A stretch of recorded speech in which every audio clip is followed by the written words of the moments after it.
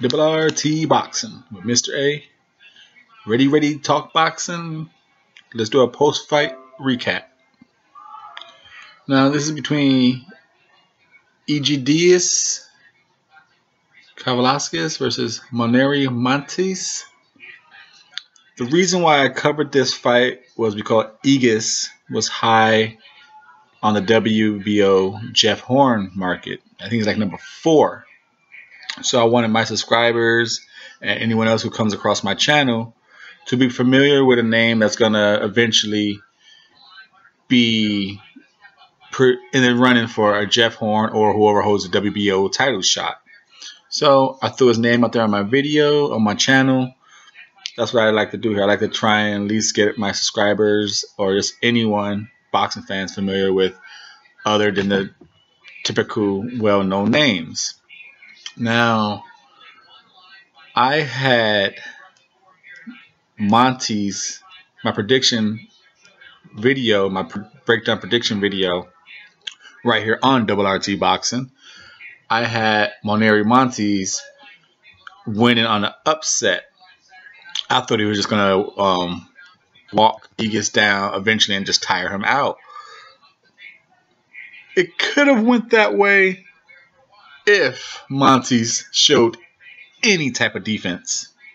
Like I, I knew he was going to walk him down, eat punches, but if he showed anything type of head movement, maybe we would have saw a little better showing of Egis because Egis just threw punches and Montes just caught them all with his face. You know, and he straight from the get go, um, Montes round one was already having a mouse under his eye.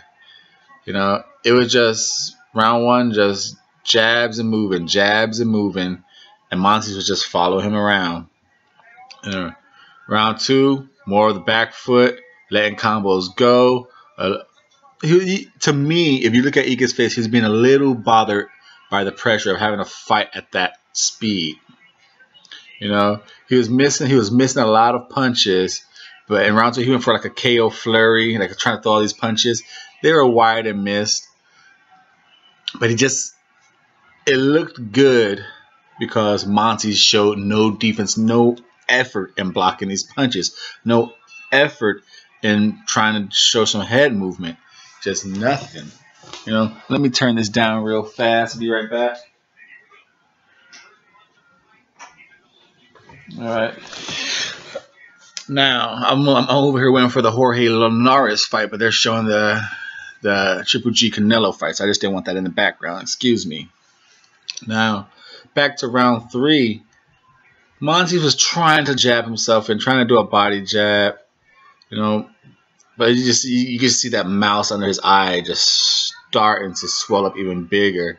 You know, Egis left jab was doing a serious number. Like I said, Egis looked good. I said in my breakdown video, Egis is going to look good. He's going to do all the my right punches.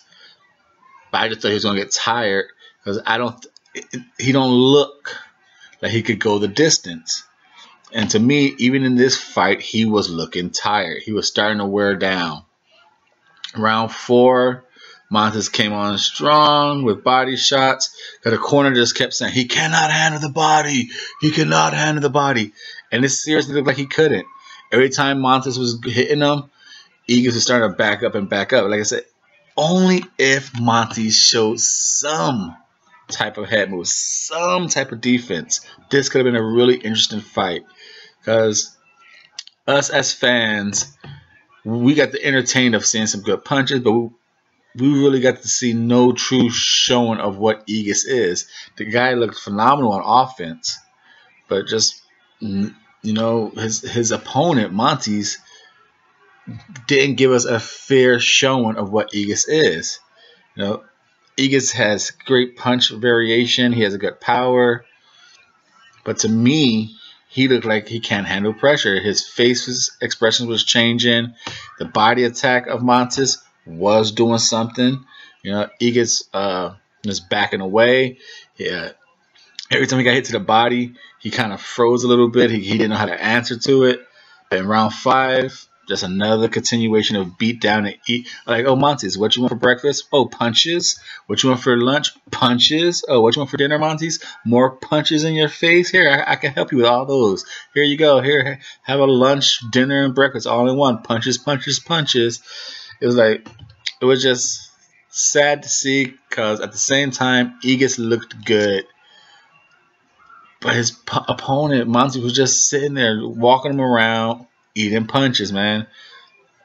And then round six, you know, they have um they have uh in the corner of round six they have the doctor check on him, a long check. You know, he, he caught someone over like, oh, what do you think of this? You know, so they had two doctors looking at him, checking his eye out, and basically they're like, I just give him like one more round, and came back out in the seventh. You know, he got hit in some bombs. He was walking into everything. And the referee just said, okay, that's enough. That's just stop it. You're getting hit way too much.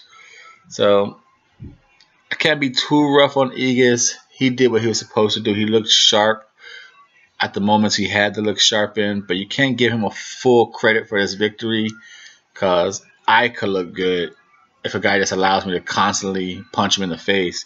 You know, a seventh grader could whoop my ass if I'm just sitting there walking right into every punch he throws and not trying to throw punches back at him or make him miss.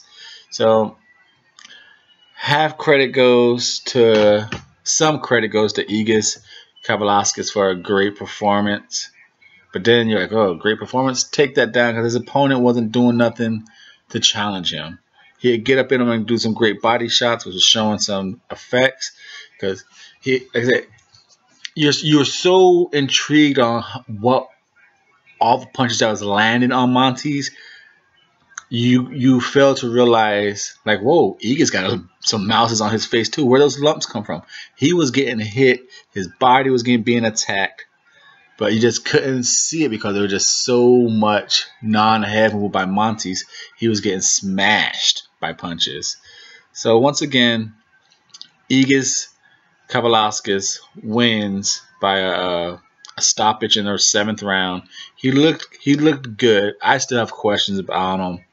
Maybe you do as fans. Like I said, this guy is ranked number four in the WBO.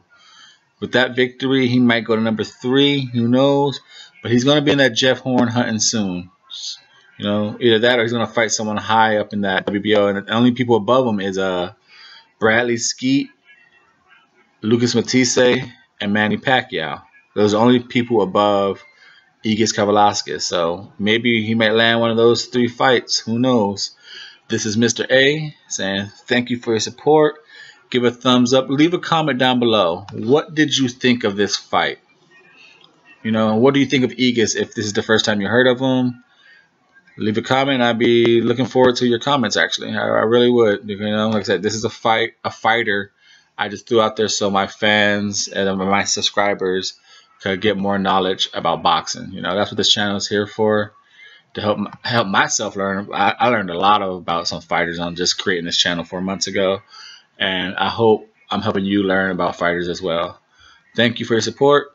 Subscribe if you have not. Leave comments, thumbs, thumbs, thumbs, thumbs, thumbs, thumbs up the video. Thank you guys. Thanks for the support. And ladies, thank you for your support as well.